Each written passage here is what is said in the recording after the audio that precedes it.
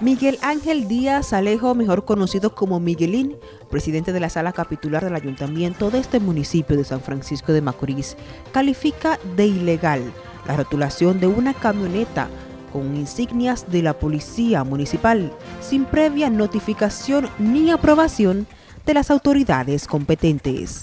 Mira, nosotros hemos sido sorprendidos porque vimos circulando en la vía pública eh, una camioneta rotulada con los logos de la Policía Municipal, inclusive usando colores que tienen que ver con la Policía Nacional, en franca violación a la ley.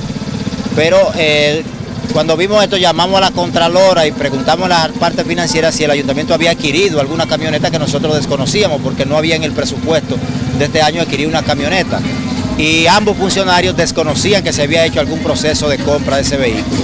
La información extraoficial que tenemos es que ese vehículo es propiedad de uno de los miembros de la Policía Municipal y que la alcaldía lo ha rotulado eh, con los logos de la Policía Municipal y que también se usa en actividades privadas. De acuerdo con las declaraciones de Miguelín, la camioneta no pertenece al Cabildo. Para NTN, Joanny Cordero.